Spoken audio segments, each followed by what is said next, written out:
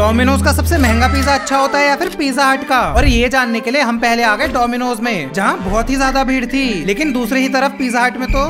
लगता है बर्फ पड़ने वाली और फिर मैंने दोनों के मेन्यू में से सबसे महंगे पिज्जा ऑर्डर कर दिए और एक टाइमर स्टार्ट कर दिया अब देखते हैं किसकी सर्विस ज्यादा फास्ट है जहाँ डोमिनोज ने ऑर्डर कम्प्लीट किया तेरह मिनट में वही पिज्जा हट को लग गए कुछ बीस मिनट फिर दोनों पिज्जा लेकर हम मॉल के फूड कोर्ट में आ गए जहाँ इन दोनों पिज्जा पे मुकदमा चलने वाला है की कौन सा बेटर है तो सबसे पहला टेस्ट लुक्स जिसका पॉइंट मिलता है पिज्जा हट को अब सेकंड टेस्ट चीज पुल जिसमें दोनों ही पिज्जा एक केस हार गए अब तीसरा टेस्ट टॉपिंग और दोनों ही पिज्जा में सात सात टॉपिंग थी लेकिन मुझे डोमिनोज की टॉपिंग थोड़ी बेटर लगी और अब लास्ट और सबसे इम्पोर्टेंट टेस्ट की कौन सा पिज्जा ज्यादा टेस्टी है और इसका पॉइंट मिलता है डोमिनोज को क्यूँकी मुझे मेरे दोनों भाइयों को और मेरे मम्मी पापा को सबको डोमिनोज ही अच्छा लगा